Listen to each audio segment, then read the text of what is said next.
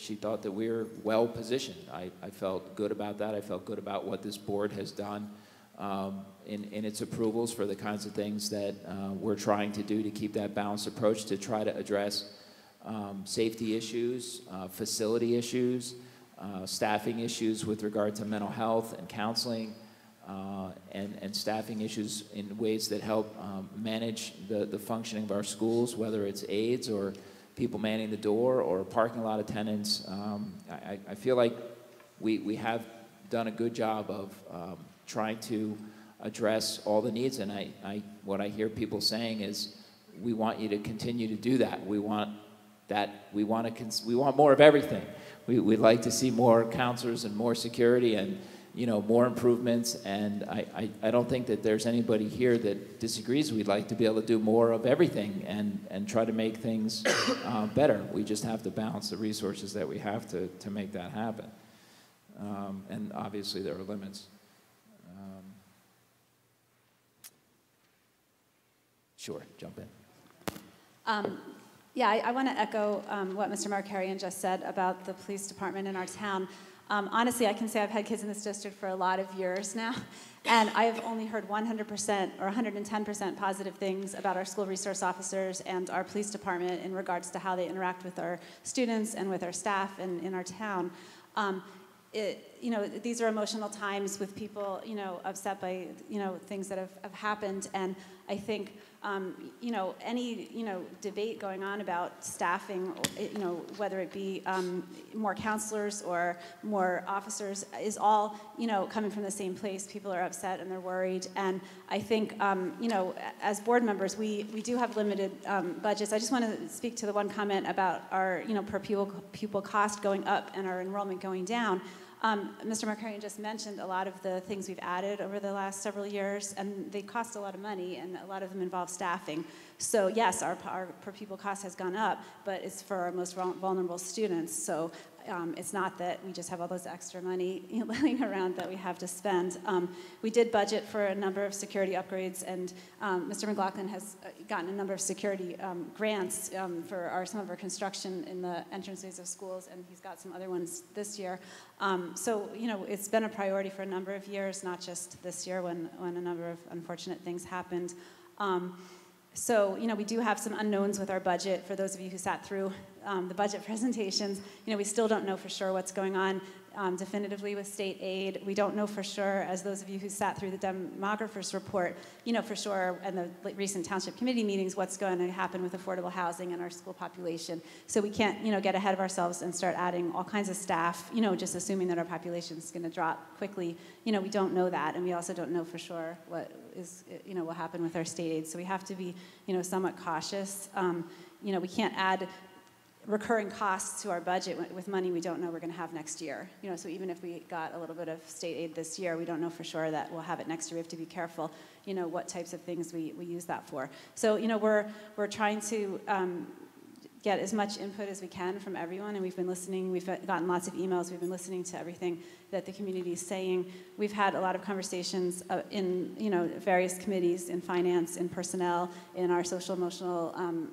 learning committee about priorities. I think everybody, as most of the speakers said tonight, is focused on you know social emotional health of our students and doing everything we can um, in that regard, and so that's a priority. I think everyone, you know, is concerned about school climate, and we, you know, have, you know, a lot of um, data to work with with these surveys, and um, we're going to be doing the student stressor survey, which will be very interesting to see the results of that compared to a number of years ago.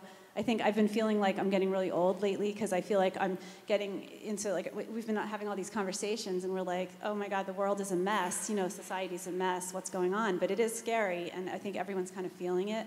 Um, you know, we don't know how much social media and other things are contributing to the sense of unease and, and, distress going on. And, you know, we're all worried about our kids. I have two younger kids, and I got to tell you, having a sixth grader and a second grader now is way different than it was when my older kids were that age.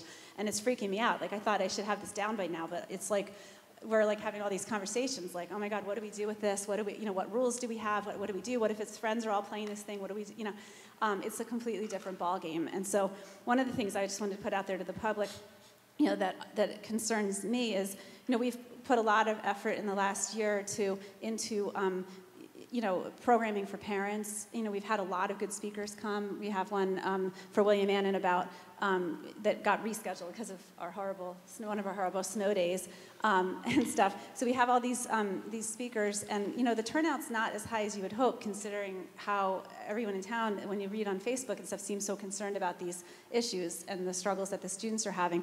You know, we're trying to do the community um, outreach and communication and engage the community because it is a community problem. We can't fix everything in the schools. Like we, you know, we don't have the students 24/7. We don't have the ability to, to solve all these problems. And so we want to engage the community. So that's just something, if you're talking to your friends, I know a lot of you that are here do come to these programs, and I see you there.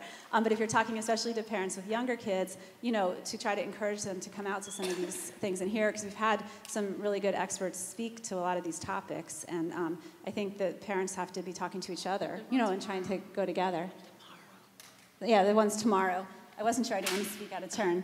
Um, smartphones, smart choices, um, and it's at WAMS at 7 o'clock, and that's the one, it's, is it an F, a former FBI um, coming to talk about, you know, and, and I, it doesn't just apply to middle schoolers, I mean, obviously high school parents, but fourth and fifth grade parents, like they should come hear this, you know, because the kids are starting younger and younger. My, my sixth grader has friends of, some of them had iPhones since they're in first grade.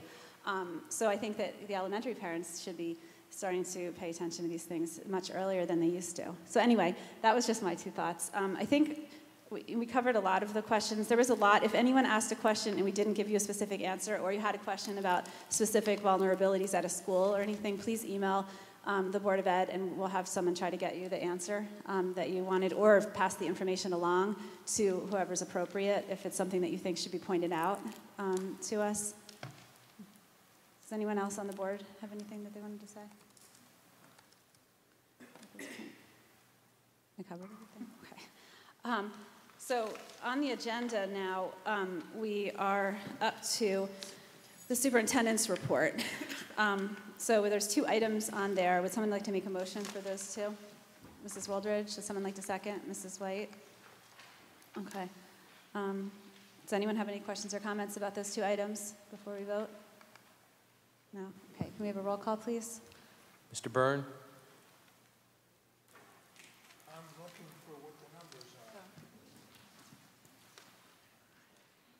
The HIB?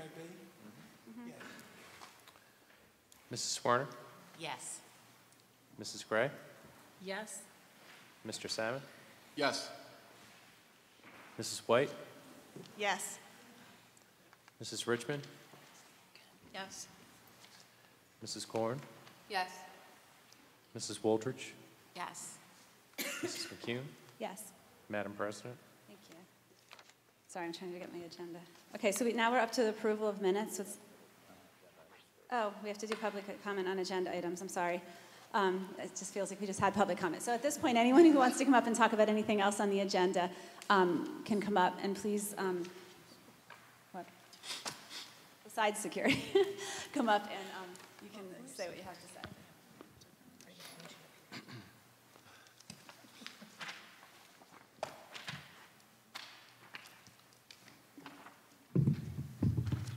James Vopel, Evergreen Place. I didn't know where my comments fit into all of this, whether it was part of the security or agenda or not, so I'm just going to fit them in here because I think it has to do with all of it. Um, I'd just like to, to get real for a second about the problem at hand. We've seen that having police in a school is no guarantee that a shooting can be prevented or that it spares lives with certainty. And yes, that is the horrible truth. But we also need to look at it in this way. What we do know is that we have, uh, what we do know is concrete. We have concrete facts that a mass shooting in New Jersey has never once occurred. Not once. Only three school shootings have occurred in New Jersey since the year 1764, and that's 254 years and only three shootings with one death. What else do we know that is also concrete? Students in today's world deal with family life, social media, overscheduling and academic pressure, drugs and alcohol, bullying, and the pressures of adolescence. We've lost 84 school-aged children in New Jersey in just three years because they took their own lives. Just let that sink in for a moment. It's a horrific number for the state of New Jersey. 84 children gone. I hope you haven't forgotten the pain testimony delivered by Martha's best friend, Alan Mellick, and her cousin Joe, and what it now means for them to go on without her because Martha committed suicide. I haven't forgotten, and I don't know how anyone who was here or heard their presentations could. You can make a school a prison. You can add as many extra layers of protection and reinforcement as you have money to spend, but vulnerabilities will always remain. Unless you address mental wellness through curriculum, starting in the elementary schools, and provide more counselors to deliver it, and a way for parents to access it, we might as well all stand up right now and turn our backs to the crisis that is already in our community. I will not turn my back on this. I will not turn my back on Martha or on Kira. And I'm asking for you to please do the same. I'm asking that you demonstrate that by funding mental wellness curriculum and counselors to teach it, and a very specific recommendation I received from a good friend of mine. It is a program by Frank Pacone for teachers and school personnel that talks to teachers at surface level and shows us how to identify those kids that need help but don't ask or tell anyone they need it. It can be done during an in-service day. Please bring Frank Pacone to Bernards Township. And just to let you know, I've already reached out to the people in my own district to have him uh, come to our professional development day in October. Do these things for your teachers. Do these things for our students. And do them so no other classmate will endure the painful memories of a beloved friend lost to suicide. Thank you. I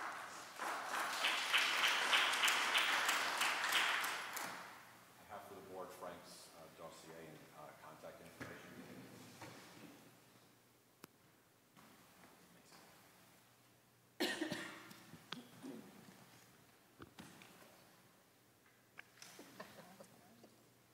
Is there anyone else for public comment on agenda items?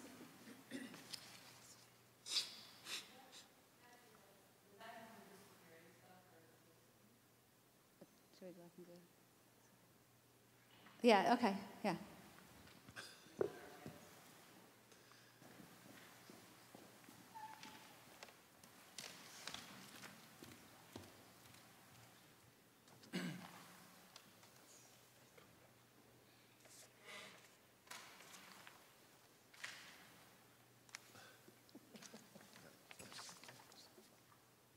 Hi, I'm Parisa Hakimzadeh, Atlas Road.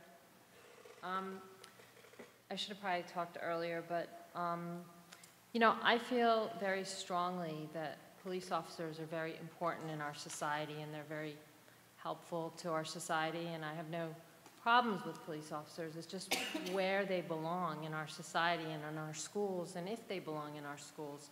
So, you know, a few people spoke to the whole community helpers and that we teach our kids that police officers are good people.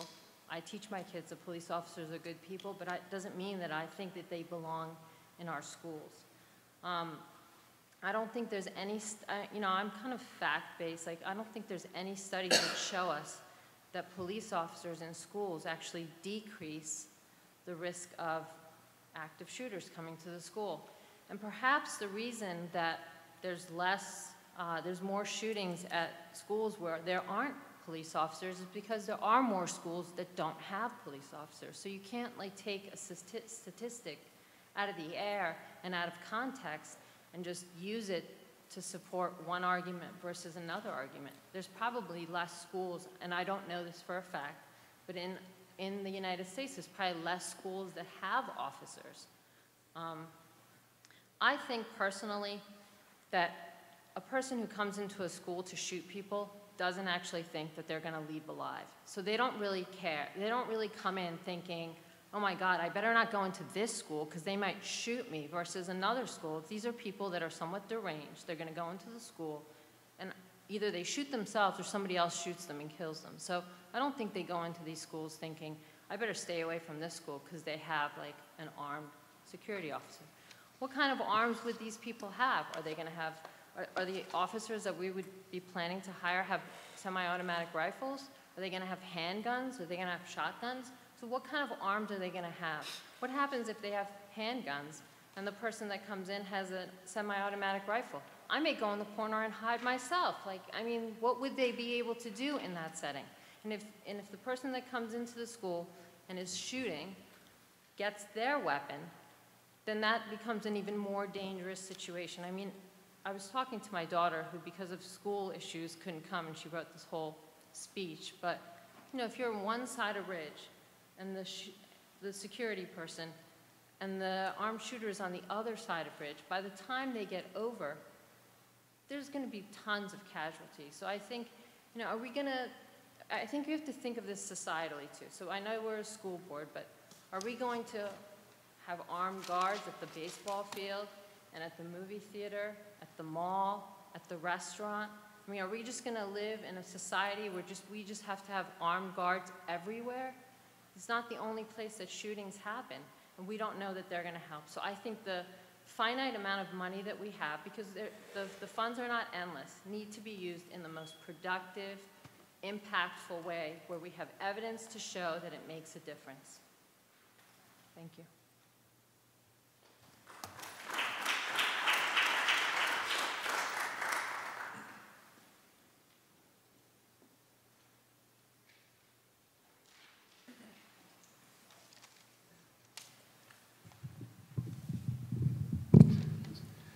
Good evening. Um, My name is Bill DiLorenzo uh, from Linden Drive. And uh, I want to thank the Board of Education for uh, providing all that information tonight and producing the uh, safety and security audit. Um, Now that all the information from the audit is in and the recommendations have been made, uh, and you've gotten quite a bit of public feedback, I just have a basic question. Um, you know, what, what is the decision process going forward? What are, what are your next steps in order to determine what uh, you're going to do based on what you heard tonight? Uh, what other parts of the township uh, governments are you going to be working with? And uh, what sort of timeline do you expect to uh, resolve some of these issues? Thank you.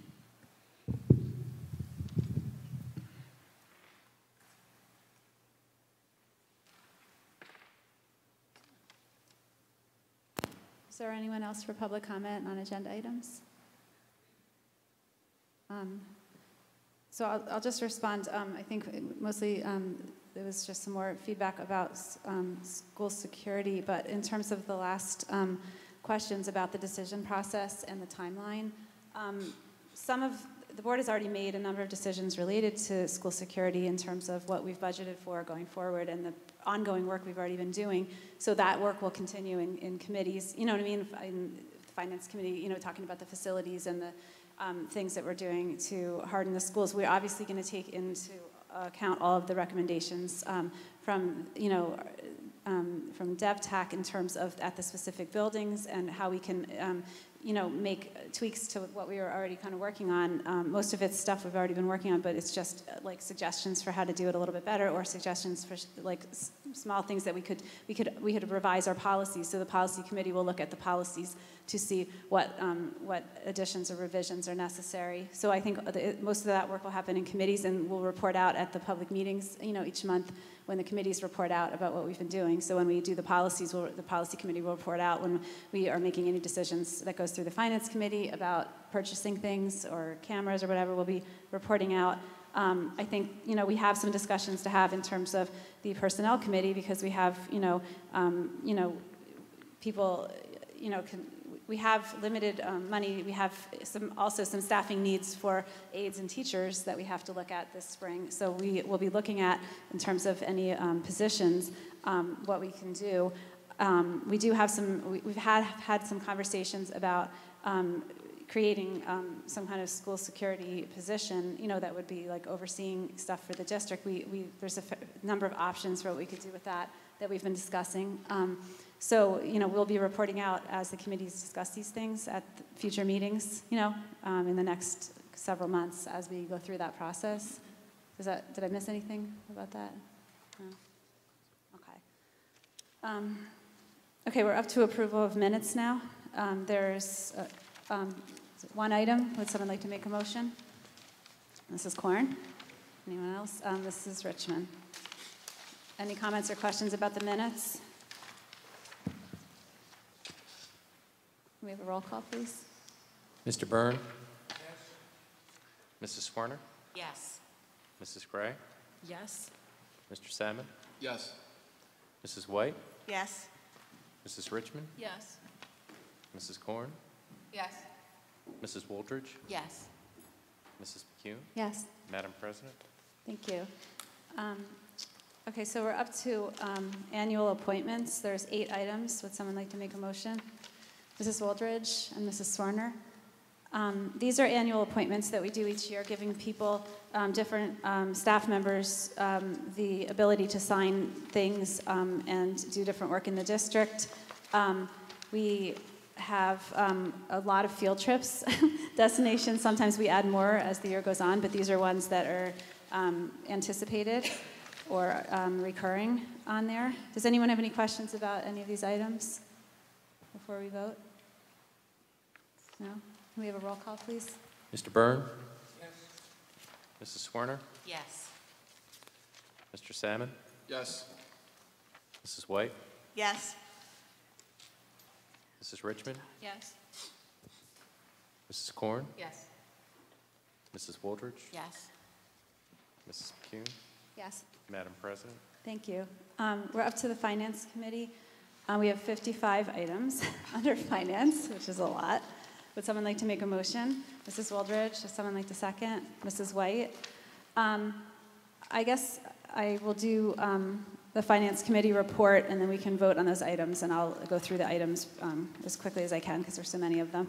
Um, The Finance Committee met on Wednesday, May 16th, and um, the first thing that we um, spent an, a fair amount of time on was we had two of our um, people from Arthur Gallagher, which is our healthcare broker, come and explain um, our contracts for next school year. Um, they explained two different types of contracts and how these contracts are slightly different than they were in the past because we're now self-funding our health insurance. So the first contract that we talked about is our contract for stop loss insurance. This is um, the insurance that the district has in case an individual or entire group of people that are insured goes way over what is anticipated. So we always had stop loss insurance with our old type of contract, but now it's just uh, worded a little bit different because we're deciding on um, what type we want to have, you know what I mean, for our district, um, and it, it, it, it's just a slightly different. It doesn't affect any of the individual employees in any way um, differently. So um, they um, recommended a plan that has um, $250,000 of um, individual stop loss, that- so like if an individual's claims go above that amount, the stop loss insurer would pay as opposed to the district. And then the other part was the group amount, so they recommended we choose a 115% option, which means that if our claims for the year go up to 100, over 115% of what was um, expected, then the stop loss insurance kicks in. So they explained about how the, this works and what's covered under it. Um, so the employees, everything's covered for them that was covered under our old plan is basically what it comes down to. Um, Mr. McLaughlin verified that retirees who are choosing to pay for our plan will still be covered um, in terms of the individual stop loss. Um, we only have a, a small number of retirees that pay into our plan, and so this will not change our stop loss insurance costs. Um, then they talked about the contract for our actual health care. Um, we're using Horizon for both of these contracts. Um, Horizon is what we already have for our health care, and Horizon turned out to be the best deal for the stop loss also among the different um, options. So we're going to end up with Horizon for both. Um, the Horizon plan, in terms of the um, healthcare plan, is um, there's no difference for how the claims get um, paid in terms of from the employees, um, and we are paying Horizon to administer the claims. So they will, and we pay a monthly amount, which is less than the amount that was built into our old plan because now um, it's not part of the actual. Um, what's the word I want? Well, it's not part of a Premiums. prospective plan, Right, so it's not yeah. marked up by Horizon. We're paying about half, 50% per person Okay, so we're paying about half for that, which saves the district for the money. administrative. Saves, yeah, so- and, and the employees on their healthcare premiums. So, um, anyway, they went through the- how that works and what's covered, and um, assured us that everything is, um, is covered that needs to be covered. Um, And the plan that they negotiated has no additional costs for Horizon to administer prescriptions. So that will all be part of the fee. Um, so those contracts will come back to the board, to the finance committee, um, fairly soon to be voted on in June. Um, the next thing we talked about is Mr. Harding, our facilities director, gave a um, short presentation on recycling in the district. We've had some students and a, a couple of parents ask us about how recycling happens and is it really being, you know, is everything being recycled, you know, all the time in every place. Um, some students have questioned whether you know kids are putting their stuff in the right recycling bin or whether the recycling is getting put in the right dumpster. So he came, he showed us slides, he watched the different trucks come and how often they come. So we had a whole you know little PowerPoint which was attached to the minutes. But basically, he explained that yes, all of the you know procedures are there. We have the recycling and trash containers, and we have the, the dumpsters, and we have the trucks coming when they're supposed to come and picking the stuff up. So if there are issues with recycling, it's really a issue of education and um, you know getting people to do it. So um, we suggested that he um, talk to Aramark in terms of um, you know talking to their staff about uh, you know recycling and what they're doing, and also looking into some increased signage in different places to encourage the students and staff members to use the recycling or, and you know to educate the younger students about recycling who may not know that much about it. Um, so that we'll get a follow up on that. Um, we had a, um, a short update on the Ridge student activities. Um, as you'll remember from last time I reported out on this, Mr. Markarian said that the effort is underway to identify and separate those accounts that are fee-based from those who involve, which ones involve student fundraising. So he met with Mr. Kraus, Mr. Shello, and other staff members at Ridge. So at this point, they've identified several fee-based accounts that really should be like pass-throughs each year, like AP tests and PSATs. Um, book accounts when a kid loses their book and they have to pay a fine um, to the school so they can buy a new book. Um, senior fees for cap and gown. You know, the student pays for them, they get their cap and gown. That's not money that would be carried over to the next year. So they're working going through uh, each account to identify exactly, you know, how they're being used and how they can be managed going down the road. So it'll be a kind of slow process, but um, they're kind of going at the easy ones first um, that are, you know, more straightforward um, in and out types of accounts. And we'll keep the Finance Committee and um, the board updated as that process goes along. Um, and then we reviewed all the 55 items for tonight's agenda. Um, a lot of them are annual approvals. I'm not going to go through all of these. I'm trying to point out any ones that are um, unusual. Um, a lot of them are basically us reappointing all different people that do work for our district. Um, Mr. McLaughlin explained that none of the rates for any of these contracts or vendors or whoever's have increased by more than 2%, and a number of them he was able to negotiate rates under that. Um, there are some donations. I'm trying to find what numbers they are. Number six. Number. Oh, yeah, okay, number seven. Let me turn to my agenda so I can Yeah, I know. talk about them. Okay, so number six is a donation from the Liberty Corner School PTO for um, installing water bottles. They're, this, they're changing the amount, they're increasing the amount that they've donated. We had already approved a um, $20,000 donation, so now I've in- increased it. So that's very generous, and we thank the PTO for that. Um, there's a donation from the Ridge High School Band Association um, for trailer wrappers, and if anyone wants to know what a trailer wrapper is, it goes on the outside of the truck to say to like make it look nice and say you know Ridge Marching Band or whatever. I didn't know what a trailer wrapper was either, um, but that, that's another nice donation. And then we have a donation from the William Annin PTO for a whole bunch of wish list items. So we thank the PTO there for um, for fundraising for all of those things. Um, let's see, back to my list. So there's another whole bunch of things that are um, annual things. We approved our subscription bus rate for next year, which is a $10 increase from this year. We're still not up to what it actually costs um, to run the buses. We've been, you know, inching it up a little bit. Unfortunately, busing's expensive, um, and so we feel the pain for those of us who have to pay for busing. Um, and um, and item 18 is an application for a safety grant, which I think I had referenced before when I was talking about security. There's several projects that this money will go towards. Um, some of them are for the access stuff at Ridge, for doors and um, access to the building, um, and some 3M film for some glass at some of the buildings. Let's see. A couple of them are DOE approval for um, small construction projects because you have to get DOE approval anytime you're like taking a wall out or doing anything to a classroom or other things. Um, so we need to get that approval. Um, there's another whole bunch of approvals of um, different people we do work with in the district.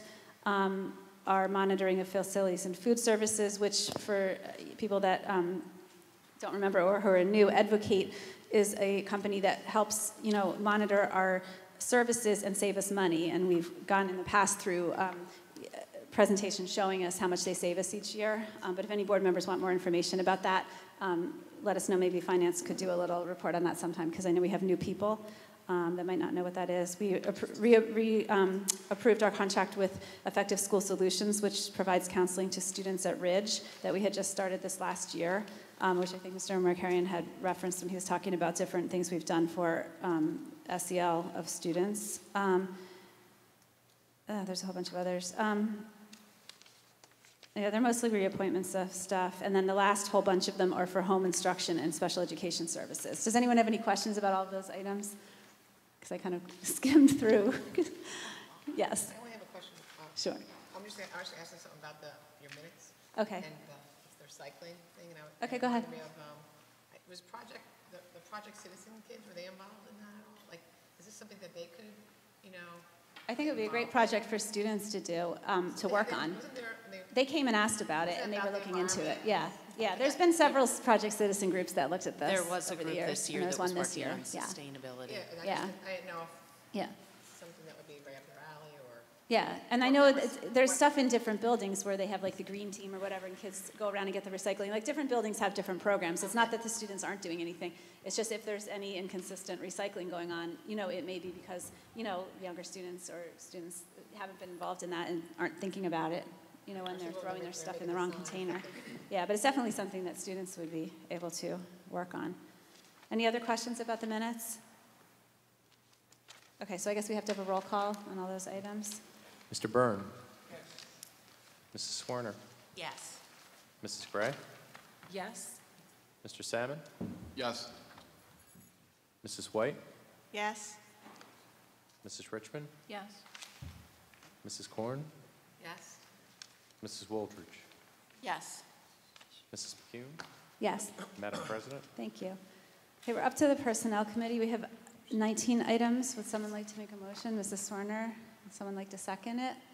Mrs. Gray? Um, Did you want to say anything? Um, Personnel met this past Friday. Um, I was not at the meeting. Mrs. Gray was kind enough to take the minutes, and we will report out at our next meeting. Um, I believe this is all kind of standard end-of-year personnel stuff. Are there any questions before we vote? Did you want to say something before we vote or after we vote? Vote. Okay, so we'll take a vote. Mr. Byrne? Yes. Mrs. Swerner? Yes. Mrs. Gray? Yes. Mr. Salmon? Yes. Mrs. White? Yes. Mrs. Richmond?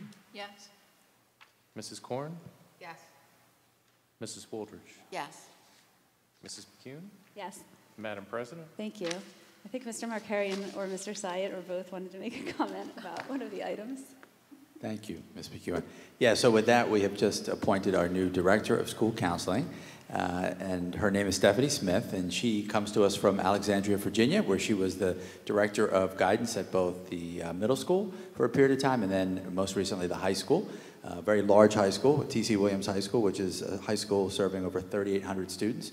So uh, certainly familiar with a larger school system, and uh, has roots in New Jersey originally, and uh, I mentioned that uh, she has her BA, BS, excuse me, from James Madison and a master's in counseling. Very excited.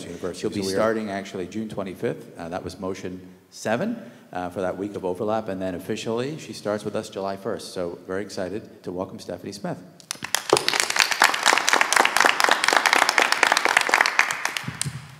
Good evening, Madam President, members of the board. Thank you so much for my appointment. I am very excited to get to work and to start to be here in a few weeks.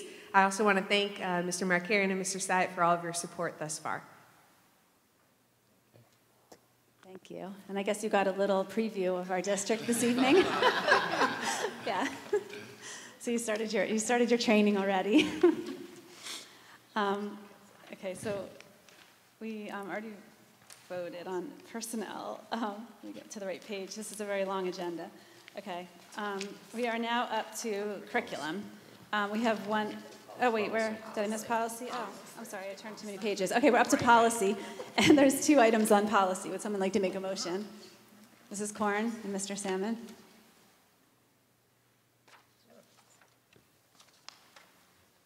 Did you want to say anything before we Well, vote, the, the, um, the second reading is, we, we already talked about that at the other meetings, but it's just basically acceptable use of computer networks and computers, I'm sorry, and computers and resources. And it's just, we just, um, put some new language in about how the kids could use their, um, devices in the schools. The biggest change was that bridge, and it wasn't even that big a change. Does anyone have any questions or comments about these items? Okay, can we have a roll call, please? Mr. Byrne? I don't know what that is. but okay. Let's take a look. Yeah. Is number, is item two a yes, Mr. Byrne? Yes.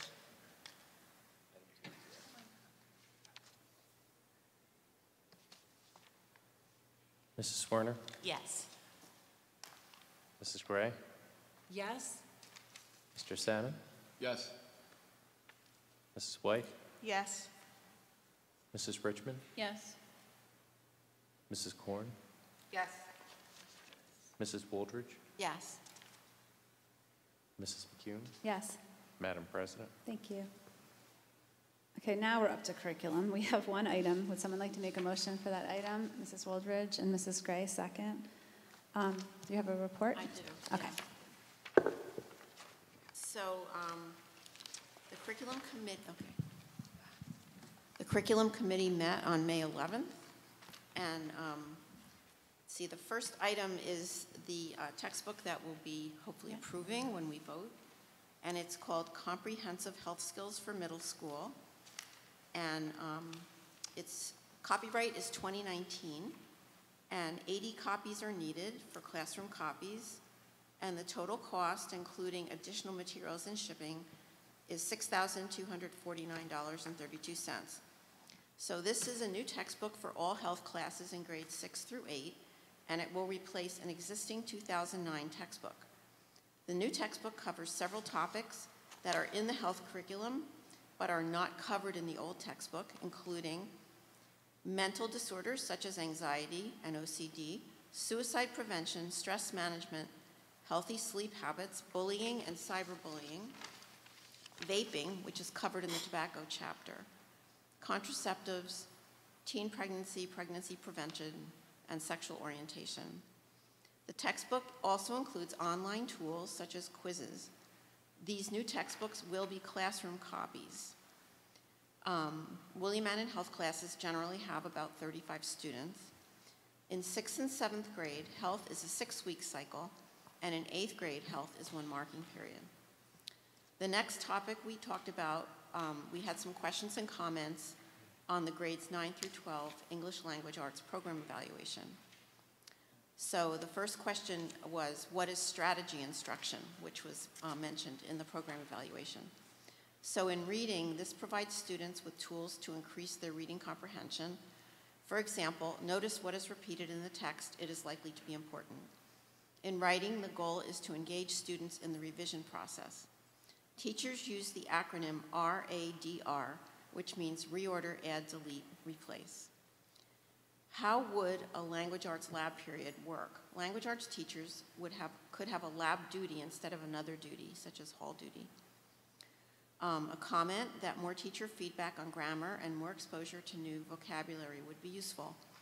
Mr. Huncher um, looked at grammar and vocabulary instruction as part of the program evaluation. The proposed workshop or lab model may provide students with more feedback. A suggestion is to reinstate the word of the day. And then finally, um, the last topic was English language arts electives. Several English language arts electives at Ridge were eliminated several years ago when budget cuts were made. Ridge currently offers creative writing, communication, and speech and debate. Ms. Shadis said that speech and debate will not be offered during the 2018-19 school year due to low enrollment. Adding more semester electives is one of the recommendations in the program evaluation. Curriculum evaluation, cur- excuse me, curriculum writing and additional staff may be needed if electives are added, and then other electives um, may possibly have to be dropped. Mr. Hunter next provided an update on the summer reading for 2018.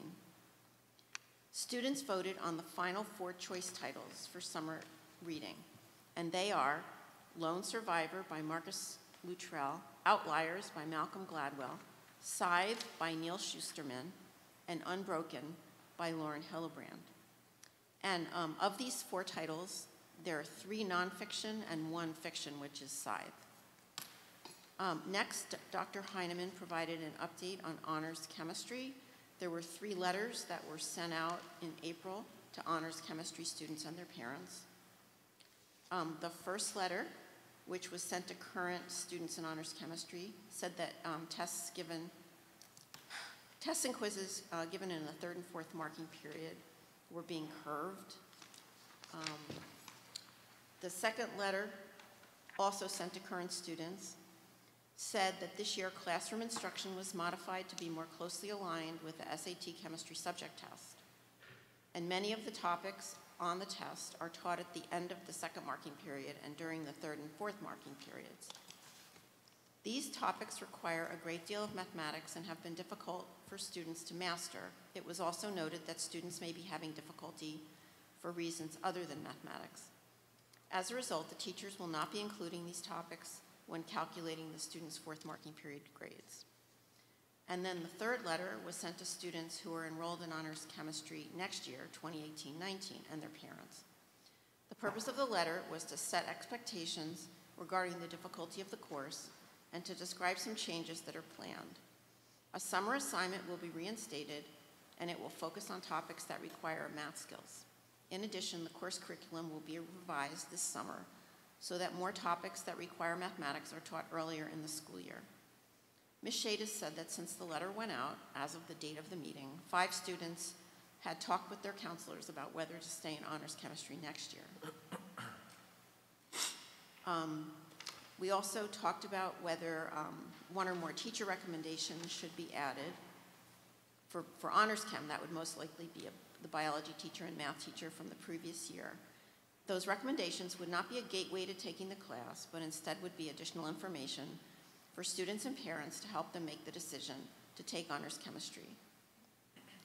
Um, a suggestion was made that if a student um, struggled or required a lot of extra help to achieve a course grade in general, as well as honors chemistry, a note be provided to their guidance counselor. And then I just wanted to mention that there was um, a last minute edit that didn't get into the minutes, but the 2018-19 Ridge Program of Studies has already um, been revised to advise students who plan to take the SAT subject test in chemistry that they should plan to take AP um, chemistry in 11th grade. The next topic we talked about was Project Lead the Way Engineering. The board recently heard feedback from several students about the Introduction to Engineering Design course, which is the first course in the Project Lead the Way Engineering program. The students said that the Introduction to Engineering Design course does not include enough hands-on projects and is too focused on mathematics. The feedback is not about problems with grades. The students are doing very well in the course. This is the second year the course is being taught at Ridge, and Mr. Fackelman said last year students had similar feedback. Mr. Fackelman also said that the course content is discussed with parents at academic planning night, and that um, Ridge um, currently does not have facilities for a fabrication lab that could provide more hands-on work. Um, let's see. Mr. Fackelman said that he plans to add a second teacher to teach one section of the Introduction to Engineering Design course next year. The new teacher is a science teacher with an engineering background, and he noted that this teacher would be able to provide additional feedback about the course at year end. We uh, briefly talked about a couple of items regarding student performance. Um, the first was retakes, and in honors biology, if a student's grade on a retake is lower than their grade on the original test, the student receives the lower, the lower grade on the test. Um, the committee did not discuss other courses. And then the second item was um, PARCC Math, coverage of standards in CP and honors courses. Logarithms are taught in Honors Algebra 2, but not in CP Algebra 2. Instead, logarithms are taught in CP Pre-Calc. And probability and statistics are taught before the PARCC test in Honors Algebra 2, but after the PARCC test in CP Algebra 2. Ms. Bowman explained that the focus in mathematics curriculum is not on the PARCC exams. It is on preparation for the final mathematics course, for honors and CP students. Honors students usually take AP Calculus, while CP students typically take either calculus or statistics. The next topic was um, a brief update on uh, the QSAC review that's scheduled in January 2019. And um, the programs component of the review consists of several items pertaining to curriculum. Ms. Stotler, the World Language Supervisor, recently attended a QSAC meeting and learned that a district receives zero points on one of the world language items if it doesn't, if we, if the district does not have a world language program taught by a certified world language teacher. Dr. Heineman added that 60 points out of 100 in the program's component comes directly from PARCC assessments. So that may have a, um, a larger impact on our QSAC score in programs than the world language. And then the final topic that we talked about was um, an instructional approach to social studies called Students Taking Action Together. It's designed to help students get along better with each other, including those with whom they might disagree or whose opinions and ideas they aren't familiar with. Students are taught skills including responsible listening, respectful debate, peer opinion sharing, collaborative creativity, audience-focused communication, and reflective improvement. This program is designed to be used in social studies instruction, including history, civics, and current events in middle school, and to promote social emotional learning and character development as well as academic learning. Ms. Fox is interested in piloting this program at William Annin next year. And in addition, the project citizen teacher at Ridge wants to teach these skills to her students. And um, our next meeting is June 8th. Does anybody have any questions? Uh, Ms. Corn? Yeah. Um, I have a question about the, um, the honors chemistry, that, I, I'm, I- can't understand why it was, why it was aligned with the SAT subject test. Yeah, only last year, right? Only this year? No. Well, it was, I think there was more of an emphasis on the test this year. This year. And Yeah. my question is, what does the SAT subject test, like, do for the kids? Like, what's the, um, what's the benefit of taking the SAT? Well, it is, it's required for certain colleges as one of your SAT subject test possibilities. Like, if you want to be a chemistry If you want to be a chem major or a science major, for example. So a chem major who wants to be an engineer probably doesn't have a problem with honors chemistry. Is that, you know, Well, I don't Is that- know. something we can assume or not? But I, you know, as, in the future, though, um, it is recommended that students take AP chemistry in 11th grade if they um, If they want to take that- take this Right, test. that. So Right. not align it So it's year. not going to be as much the focus of honors They're going to change it, they're going to back down. Yeah. I- I just don't. That's like- one of the Like in the first place, I don't understand what was happening in the first place. Like, what was the, the impetus to do it in the first place?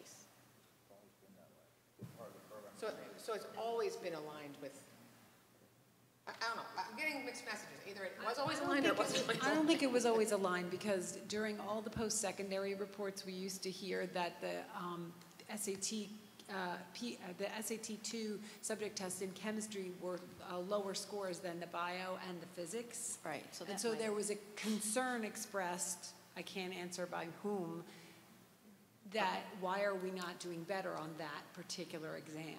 So then they changed. So I get, that part, I don't know when it happened, but It's, it I mean, I'm it I'm just wasn't- curious. I- I'm just, I'm just asking the question because I don't know. I just want to add one other comment, and that is that there's exceedingly few schools now that require the SAT two Right. subject test. I mean, it just seems, Yeah, they, it, they are being used less by yeah. college Well, it seems like they're dinosaurs, just from, Yeah. you know, from my perspective. And then, um, the Project Lead the Way thing down here. Yeah, Um, I know we had all those kids come and talk about it, and are we discussing, do we have a problem with the curriculum, with the curriculum that pro- we bought from, is that the problem? Or is, um, you know, that just, that it's not hands-on enough, or, so we have to do this through, do we have a contract with them? Like that we have to use it for the, the actual curriculum, like past a certain time, or only still, only to the kids who signed up for the STEM program, they're out? There's no contract. So we can stop using their curriculum whenever we want? Well, there aren't problems with all the courses. This is the one course Just the one, this, this one? that seems to have created this um, feedback, so And this is the first one in there? Is this It's the first one in the engineering track, Right. and we have not heard similar And feedback that's the about. only one they were talking about when they came Mhm, up? It was just the one course. Okay. Yeah. I'm just curious because it's, Yeah, and we do it have. comes up a um, lot, and I'm just, you Yeah, know. we have other courses, and we do have two other tracks where the students Oh, okay. are, seem to be okay, yeah. This one looked a little bit of a problem. Okay. Mr. Byrne? Uh, I, I think the honors chemistry program should be looked at very closely. Uh, Well, that's exactly what's I happening over the summer. Because it, it looks like that was uh, a problem. And I, I wanted to comment on the students' uh, modeling in engineering. Um, Engineering, really, the first couple of years is all math and physics and uh, and science. Modeling doesn't come in maybe until senior year. Um, Our program is trying to attract the kids because modeling is probably a fun game, but has nothing to do with engineering. So uh, I think it's right that the modeling is pushed back further and is less important in the program. So again, a design, the whole concept uh, has to be looked at. Mr. Salmon?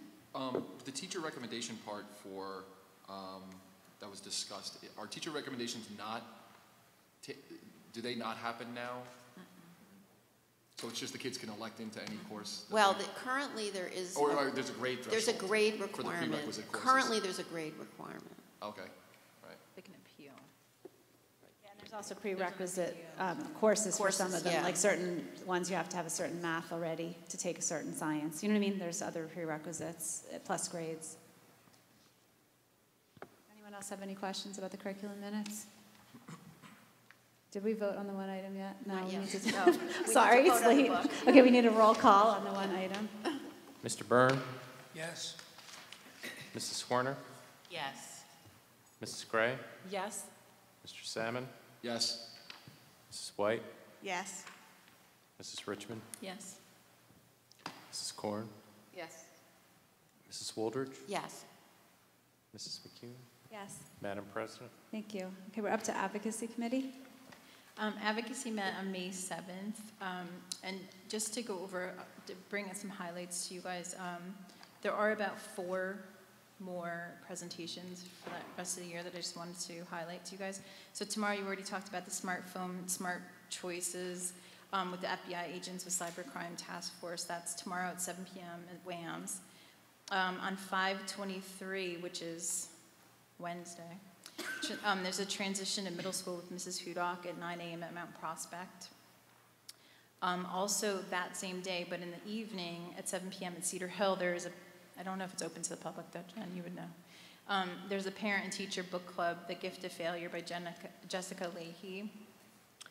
Um, And on 6/14, um, at Ridge, with the Ridge um, High School Counseling Department, 8:30 in the morning, they're having a program for seniors and parents and guardians um, called Life After High School with the Ridge um, Counseling Department, which is a new program this year, first time.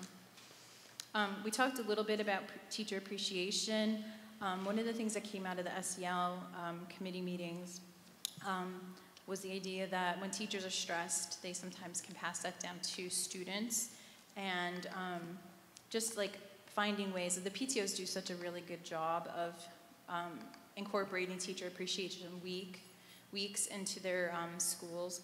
But um, sometimes we, we could do a little more. So some of the PTOs have implemented little um, ideas of, you know, baking brownies and putting it into teachers' mailboxes or Hershey Kisses or cards and different, different things that are just like um, a sign of appreciation.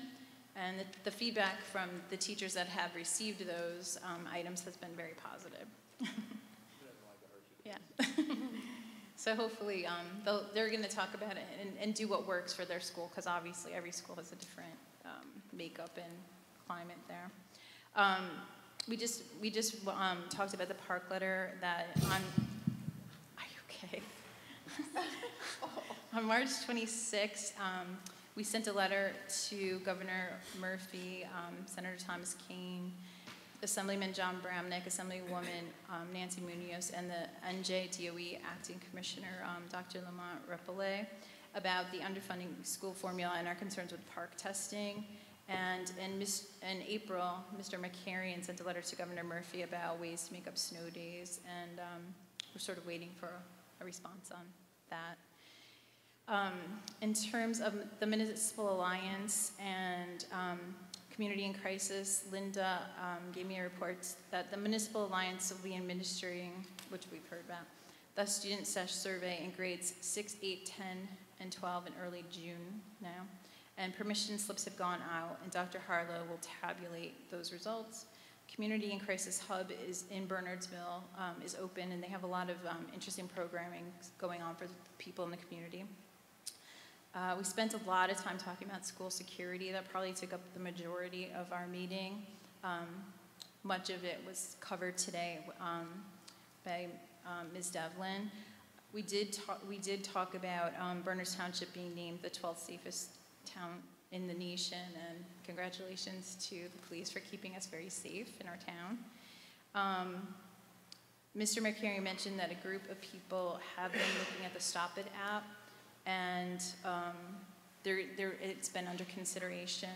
The app is supposed to go under a um, revi- revise, I guess, or update in August. So um, it might be make more sense to like look at that in September. They're gonna they're gonna talk about this more and let us know what they decide. Um, there was a question or concern that was brought up about you know with school security what what about recess before after care athletic games on and off property in other areas of town obviously you know there are a lot of areas to consider it's not just the buildings but um, there was a comment about the district website that, and I forgot to check if it was updated, um, that there was some outdated information on the homepage running down the um, upcoming events on the right side of the page. There was concern um, about vaping and bringing more awareness and educational opportunities to students about the dangers of vaping now, especially now that more information is starting to come out about the, the um, effects of it. Um, some parents have requested to do more uh, to make families aware that there are nicotine testing kits available to buy on their own um, and talk about more education for um, at-home testing of, of drugs and nicotine. In terms of athletic coaches, there was a, a concern about some um, inappropriate language that neighbors could hear on Peachtree from their backyard. So we just want to be um, cognizant that others are around and there's some little kids and, that are our neighbors. We want to be good neighbors and also be model, you know, model the behavior that we want our students to um, model or to, to learn from. And then there was also a question about the SOS Express. We, we know that 50% of the Friday folders were being opened, and there was just a question about whether Aspen has the mechanism to, it doesn't, uh, darn, to know if people are actually reading them. But, and our next, our next um, meeting is June 4th. Does anyone have any question? Yep. Oh, you didn't get it? Oh, you know what, it just came out today. I can get you a copy. Well, if it came out today, then it's, Probably in your packet. It might be in it your will be packet. in the packet. Yeah. Okay, thank you. Um, We're up to liaison committee reports. Mrs. Wooldridge? Yeah, I just, I had a, just a quick, re- a quick report. Um, The Municipal Alliance met on May 8th, and um, we talked a bit about the Teen Talk program, which had been held on April 11th, and in general, it went very well. And the RAD students led discussions with parents on underage drinking, vaping, social media, and academic stress. But um, the Municipal Alliance would like to um, work with the PTOs next year on this in order to try to get more parents to attend because it wasn't that, it wasn't that well attended, but, I mean, the kids did a great job. And then um, we talked a little bit about the student stressor survey. Um, I just wanted to mention that the survey was last done in 2012, so it's a good time to do it again. And then the Twilight Challenge, which is the Municipal Alliance main annual fundraiser, will be held on Sunday, June 3rd at Pleasant Valley Park. And then uh, the Community and Crisis School Working Group met on May 9th. And this um, group has representatives from the Bernards Township, Somerset Hills Regional, and Bedminster School Districts. Um, Community in Crisis is hosting a presentation on Stop It, which is that app that has been mentioned a couple times, and P3 Campus, which is a similar product, and it's going to be held at their hub in Bernardsville on Tuesday, June 26th, from 11 a.m. to 1 p.m. Um, And uh, all board members are invited to attend if anybody's interested and available, and lunch will be provided. Um, A town hall on underage drinking will be held Wednesday, October 24th at 7 p.m. at the Bernards High School PAC in Bernardsville. Panelists include uh, Michael Robertson, the Somerset County Prosecutor, and Chief uh, Kevin Valentine of the Bernardsville Police Department, and this is free and open to the public. Does anybody have any questions? Uh, Mrs. Richmond? What was the other name? It was Stop- the Stop It app, and what was the other one? It's called P3 Campus, and it's another um, anom- anonymous reporting product that's designed for use in schools. Thank you. Okay, um, we're up to the SEL committee.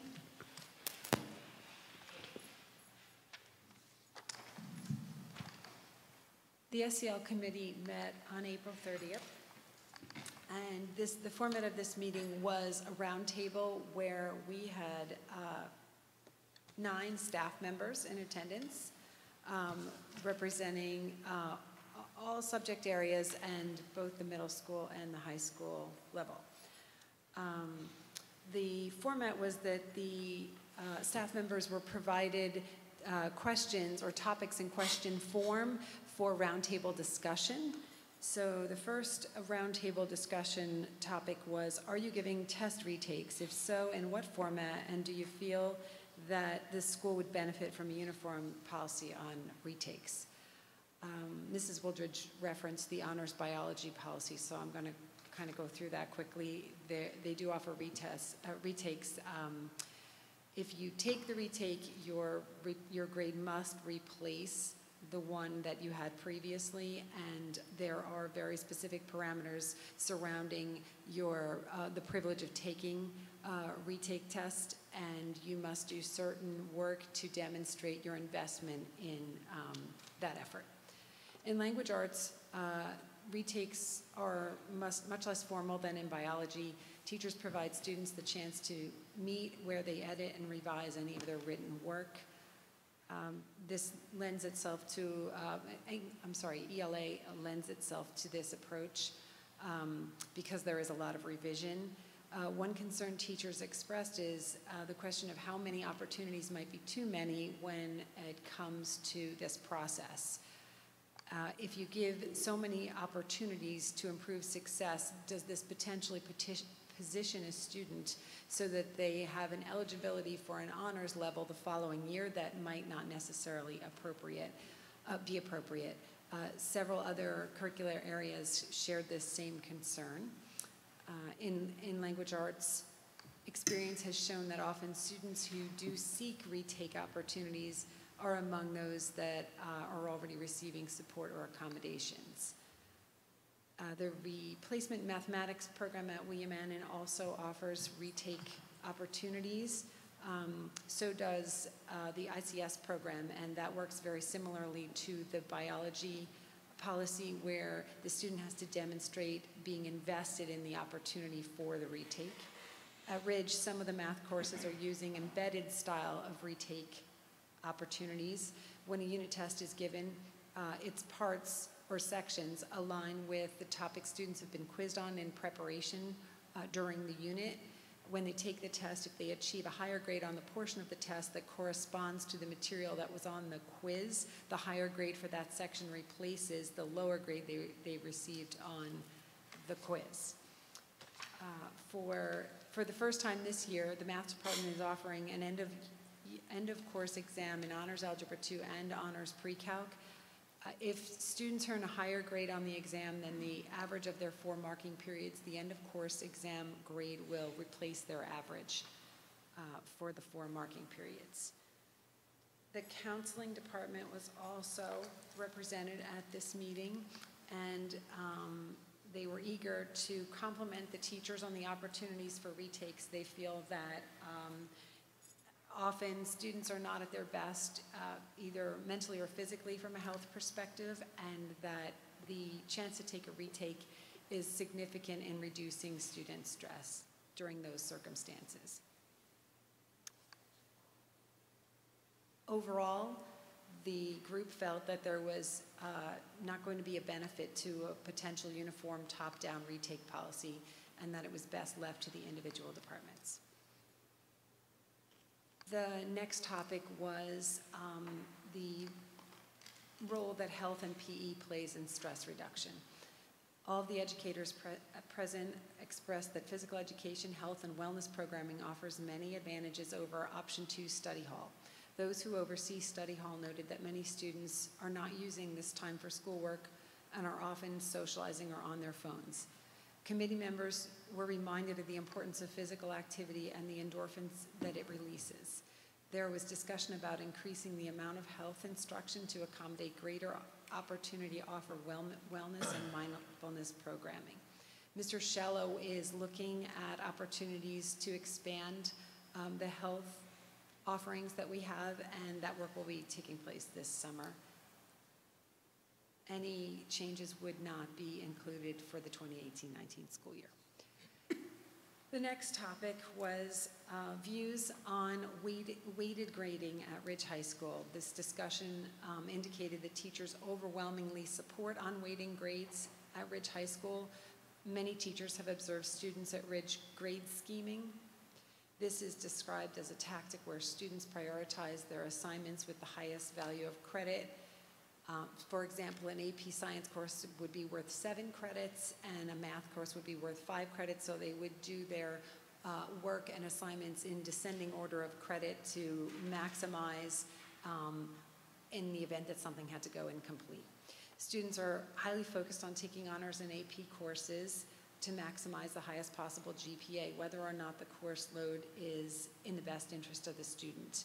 Um, some teachers thought that unweighted grading would encourage students to enroll in the appropriate level of course rather than chasing a weighted average. Um, it has even occurred that some students who take a high number of AP courses have come uh, to INRS meetings requesting accommodations because they are feeling very, very overstressed. Anecdotally, some teachers reported that some teachers reported um, experiences where students that graduated came back For all their hard work and all of their dedication and stress and whatnot, the, um, their experience in their first year of college was, was not all that it was cracked up to be. A- And all their effort to get into that very competitive college was not without cost. There was some concern about, expressed about the possible issues that could arise from unweighting, such as uh, National Honor Society eligibility, impact on ranking in publications like New Jersey Monthly. Um, the committee discussed identifying any districts that might have recently shifted from weighting to unweighting, and um, this will be an ongoing uh, conversation in this committee as well as perhaps in curriculum. There is overall concern by educators that the toll of chasing the carrot of weighted grades will, can take on um, the mental and physical well-being of our students is too much. Desire was expressed to know more about uh, students after they leave Ridge. Um, there's a feeling that there are a good number of Ridge graduates who are not finding a good fit with their initial college selection, um, Mr. Syed commented that the counseling department used to send out a postgraduate survey and that the response rate, rate was extremely low, which was unfortunate. So it's a little bit difficult to gather this kind of data. The next topic was the rotating drop schedule at Ridge High School. Um, the staff was interested in more information on uh, the proposed drop schedule. Uh, Mr. Kraus was present and he was able to uh, give a little bit of an overview uh, teachers appreciated the overview and were generally very supportive of having additional instructional time in the teaching period. They also appreciated the inherent value in fewer transitions during the day. Uh, Mr. Markarian uh, also shared with the committee that our IT director would be working with our new Aspen specialist to run a mock sorry, mock rotating drop schedule using students' course selections for next year. The next topic was ideas for redu- reducing stress for students and teachers. Uh, Several teachers um, expressed concerns about, or just general observations about the complexities of using um, email for communications and um, shared their interest in perhaps looking at um, some, some parameters for response time. Uh, And then there was one more, I'm sorry, where's the last page? I'm so sorry, I don't know what happened to it. It's been, we've been here too long. Oh, here it is. The last page is uh, just the debrief afterward, and these are just some uh, sort of action points. After um, two hours, all the staff members had to go back to work, and so the committee continued um, by discussing what we had learned. Um, So unanimously, everyone agreed that the students are feeling overstressed, overtaxed, and anxious. This is a pervasive problem that um, is not limited to academic sources. Uh, interest in additional health class time was a recurring theme. There was considerable discussion about how this could potentially impact option two study hall. With Mr. Shello working on possible changes to the health curriculum, the committee will wait to hear what he reports to the curriculum committee when his efforts are complete. Uh, unweighted grading is also well supported by the staff. The committee would like to better understand some of the ramifications of unweighting and will gather some information about other districts who do not weight grades, and this will be reported back to the full board. Interest was also expressed in hearing more about the rotating drop schedule, and then there were several items that were referred to the curriculum committee for follow-up. That, that included the health and wellness programming and um, some possibilities for discussing AP sophomore, AP, I'm sorry, sophomore AP course opportunities. The next meeting will be May 24th, which is in a couple of days. And um, that's it. Sorry it was so long. The 24th? I gotta see I have that on. Does anyone have any questions or comments about the minutes? No? Okay. Um, So now we're up to public comment on non-agenda items. If anyone has anything, please make sure you tell us your name and address when you come up.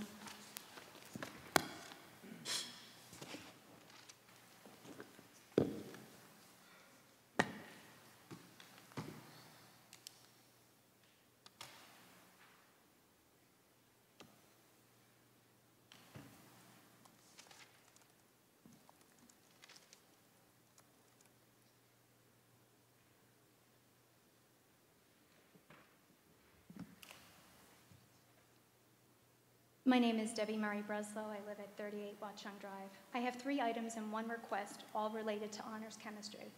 First item, let's pick up a bit from the last BOE meeting. The honors chemistry students took a quarterly exam that was allegedly destroyed. The students never saw their exam after they took it. Mr. Byrne, thank you so much for your comments and speaking out at the end of that last meeting. Asking questions is crucial to getting the facts. Here are some facts.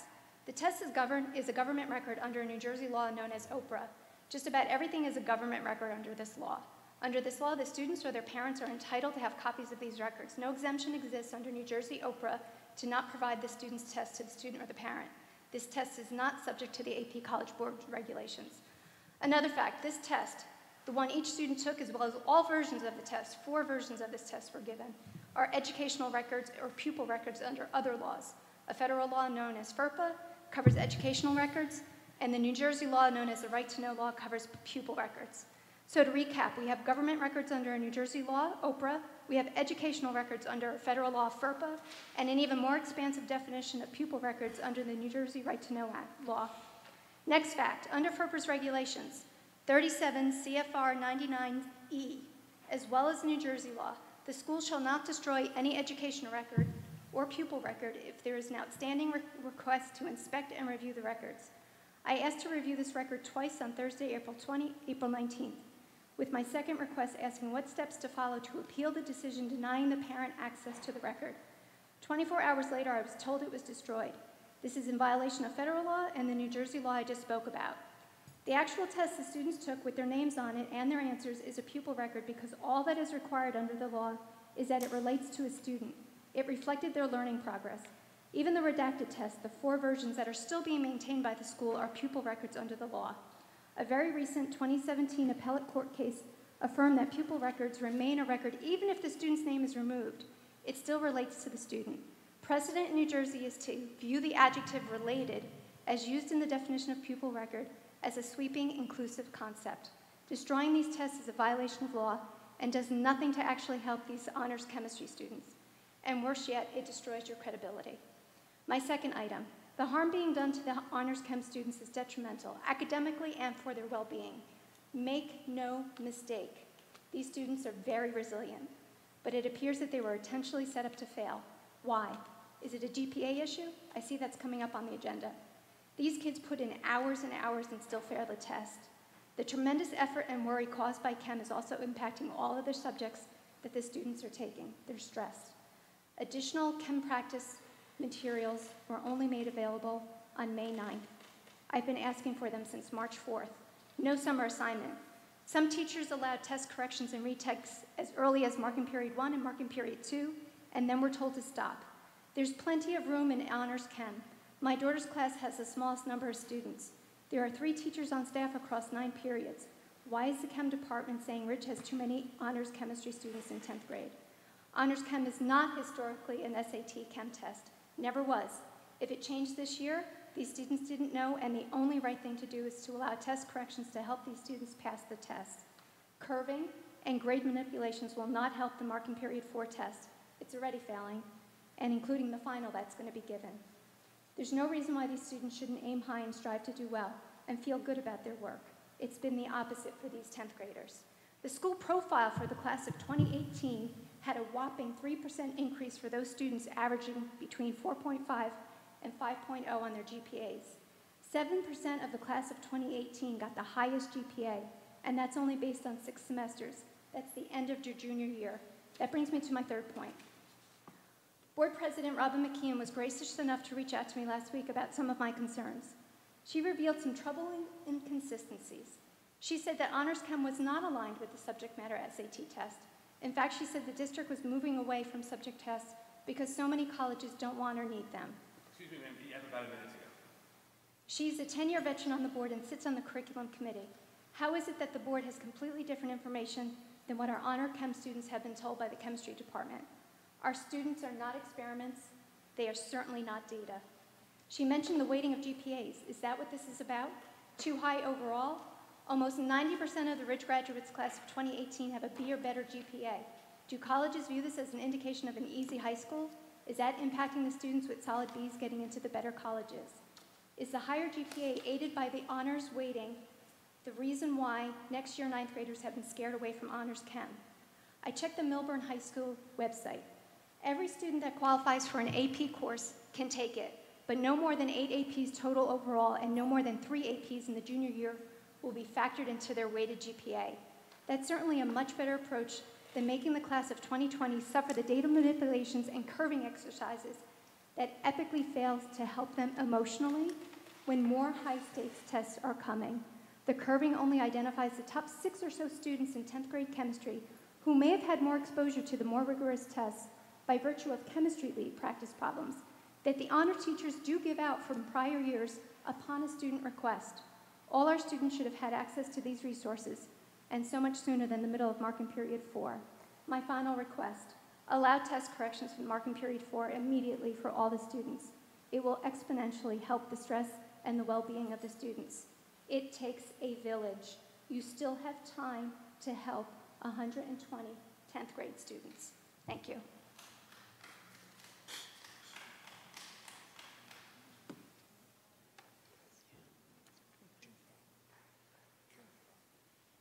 Anyone else for public comment?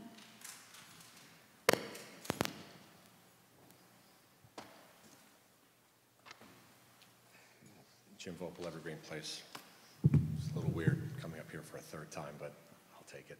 Uh, Congratulations to uh, Mr. Syed for uh, Superintendent of the Year. I don't think anybody from the public uh, acknowledged that.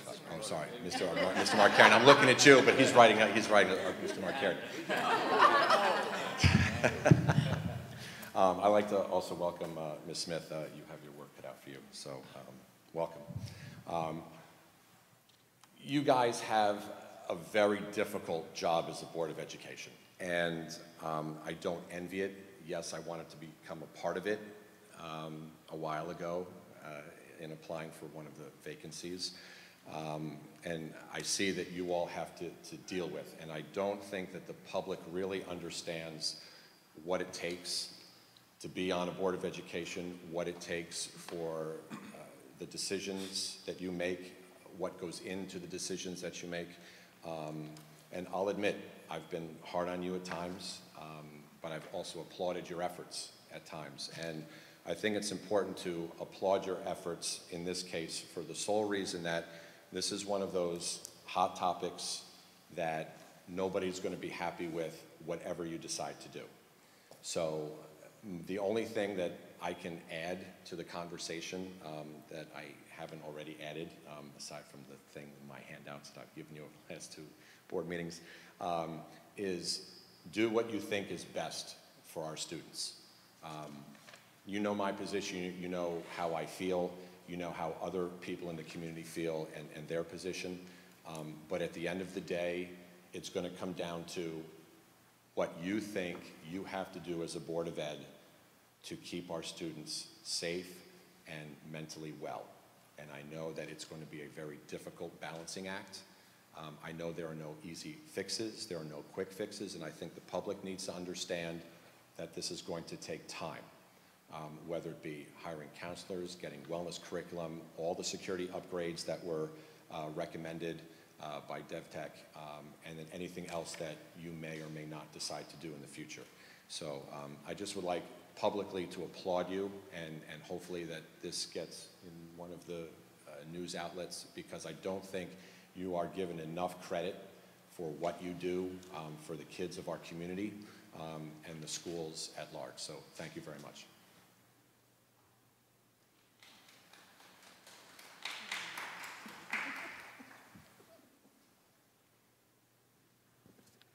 Is there anyone else for public comment? No? Okay. I'm going to close public comment at this point.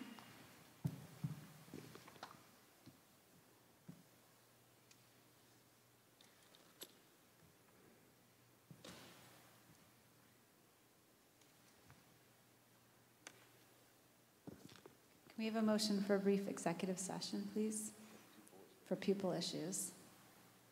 Mrs. White, Mrs. Swarner, thank you. Do we have to do a roll call to do that? Okay, a voice call, is everyone okay? Aye? All in favor? Aye. Anyone opposed? To go into executive session for a minute. Okay, to go back and skip this, the board. No, we'll come back, we're coming back here. Yeah, we have to come back, we're just, yeah. Wouldn't you finish this first? No. We voted. We voted, we voted. Do it. Yeah, let's go. Okay, okay, we'll be right back, hopefully. An estimate, 10 minutes? Okay.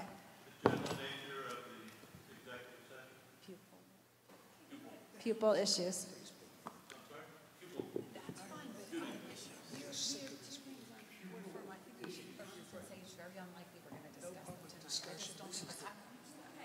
This, I, I, I guess we could table the board forum items till next time, since it's so late, and that way no one's waiting for us to talk about them. Does that make sense? I, I think so, and I also think that given the nature of them, we need someone sitting in the audience Right. to engage the Right. community in the discussion.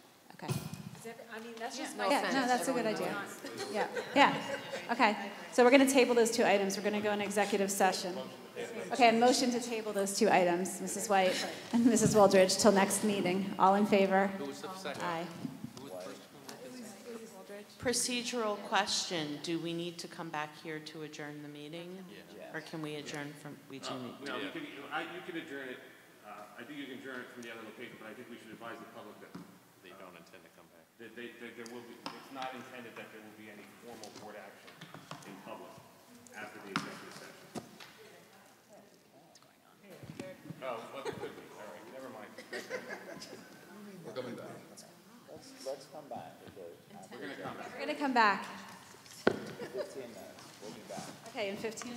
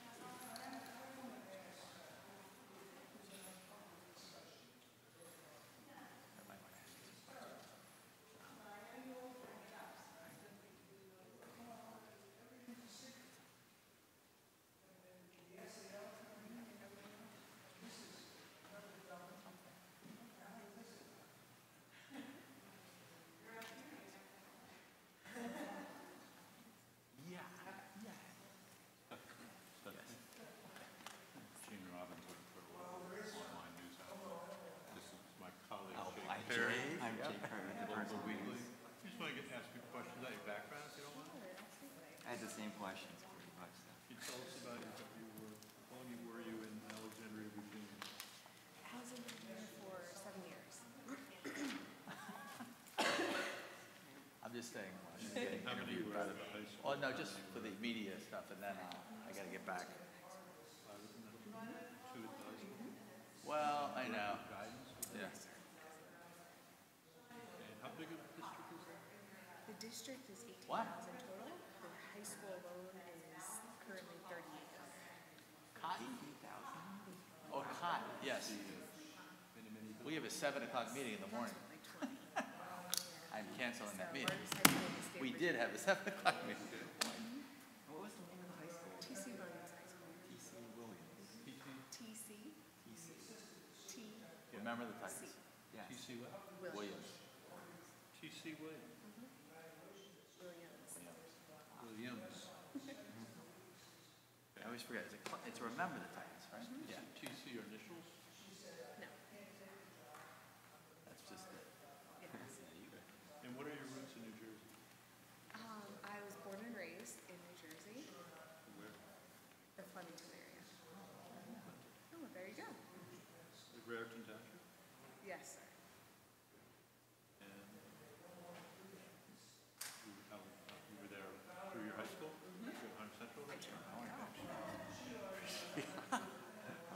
That's, And, uh, yeah, no, no, he- we always joke about that. He says, get ready, he says, I don't want that job, Dick. That's your job. I like what I do. I like what I do. Family. Yes. Being closer to family.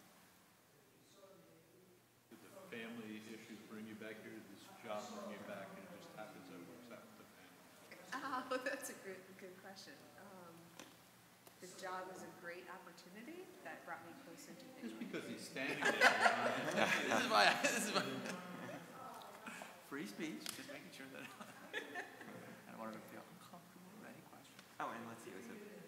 bachelor's in James Madison, and that was in Psychology. Oh, yes. Master's in counseling. Oh.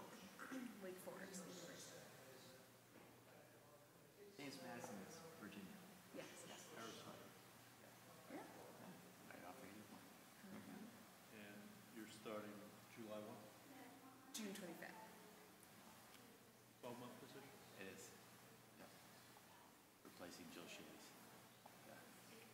Julian. Yeah. Yeah. Yeah. Okay. I think that covers it. Thanks. Thank you. All right. It's funny, there was a golfer whose name was, he was an Asian, his name was uh, T.C. Chen. And he played US Open, and he had a famous double hit, where he hit the ball, and then it bounced off his club after he hit it. And after that, he became known as Two Chip Chen. Huh. So I always remember the T.C. There you go. Yeah, that's a fact. I'm not a golfer, so I Oh, wouldn't. you can look it up. Yeah, It's- yeah.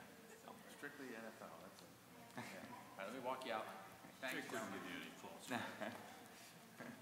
The name of the woman who's sitting next to you, do you know her? Um, yeah, that was uh, Amy Malik. Say again? Amy Malik. M-A-L-L.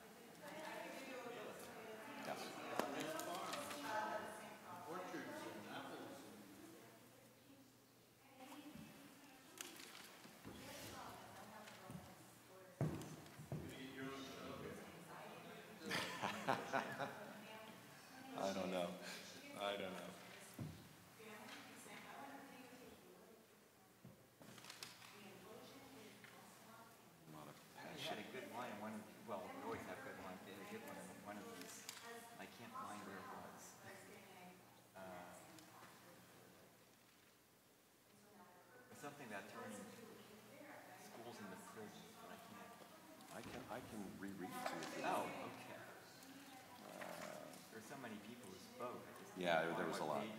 Um, you can make a school a prison.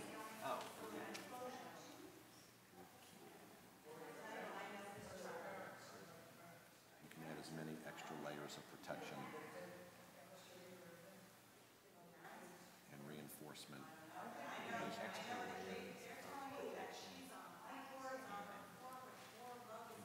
Reinforcement.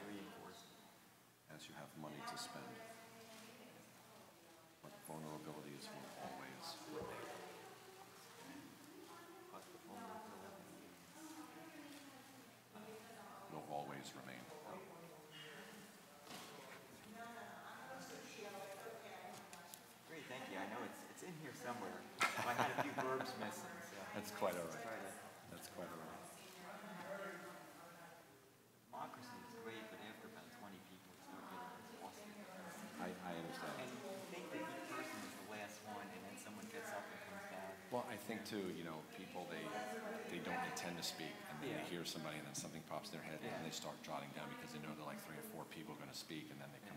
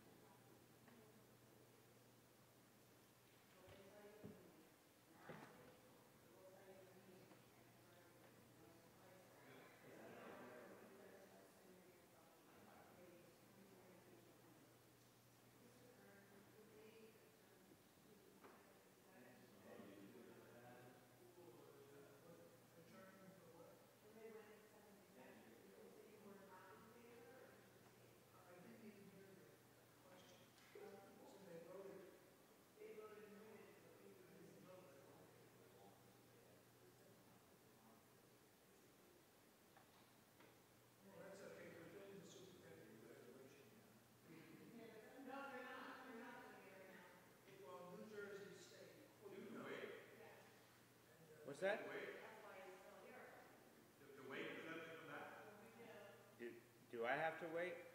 I have to wait for all of you to leave. And then for them to come back and leave.